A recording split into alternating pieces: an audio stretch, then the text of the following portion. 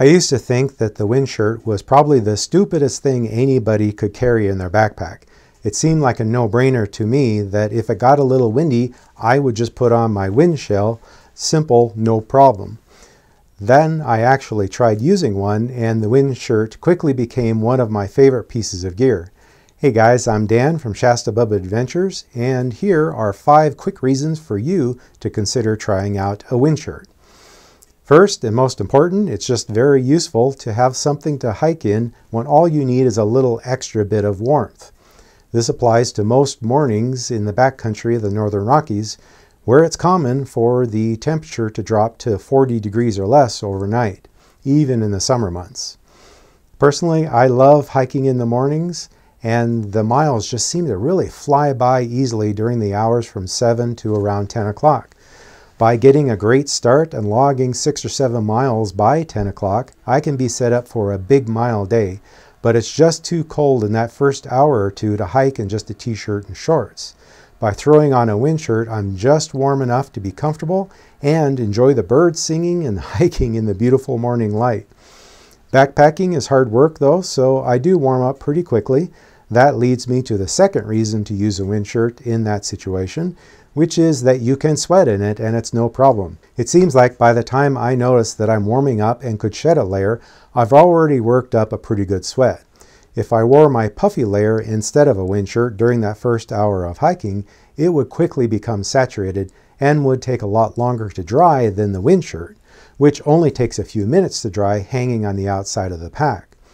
Also, the wind shirt has a very high rate of moisture transfer, so it takes longer to wet out.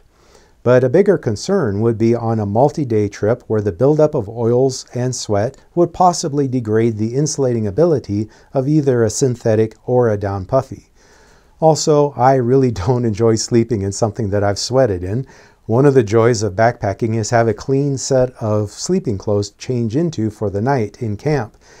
And I've learned that sleeping in clothes that have been sweated in gives me the creepy crawlies. I just seem to itch all night and it's miserable. So it works much better to use the wind shirt than my puffy layer when hiking in the mornings. Third, wind is a powerful force for cooling the human body, which is why we bother calculating the wind chill factor. Anybody who's done some boating has experienced how quickly you can go from warm to freezing just because the sun went behind a cloud and a little breeze comes up. Same is true with backpacking when we often experience sudden weather changes when the sky clouds over and the wind begins to blow. Even more common in the Rocky Mountains is crossing high altitude passes where it can be completely calm shortly before the ridge, but when you get on top of the ridge, suddenly the wind wants to knock you over.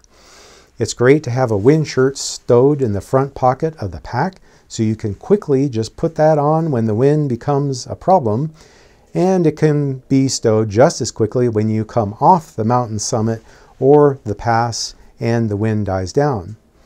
Since it packs so small, you can carry it in a pack pocket and not have to open the main body of the pack and rummage around while the weather is getting ugly. Wind shirts have a DWR coating, which is water resistant, so a fourth reason to carry one is for those sudden brief storms that blow through in the high country. It's no substitute for a rain shell, but when things are just misty or a light sprinkle, the wind shirt will be enough to keep you warm, if not entirely dry. I've found that my forearms get wet in a light rain, but with the moisture transfer and quick drying ability, I dry out pretty quickly once the rain stops, and it's much more breathable to hike in than the best rain shell. By the way, I think that the hood is one of the best benefits of a wind shirt for both light rain and to keep the wind off the head and face. That alone makes a big difference in keeping warm. I do still recommend carrying actual rain gear though for those times when the rain is more serious. The fifth and perhaps the best reason of all to carry it is that not only does a wind shirt pack small, but it's super light. My wind shirt is the Montbell Tachyon and I have an older model which only has the half zip and weighs 2 ounces. The newer version is a full zip and this part is especially cool. It has hand warmer pockets and still only weighs two and a half ounces. I personally prefer the pockets because by the time I get to camp in the evenings, it's almost always getting cool. So I will put on my puffy and the wind shirt while making dinner and setting up. So the pockets are handy to hold little items that I'm working with, like a lighter or the SteriPen.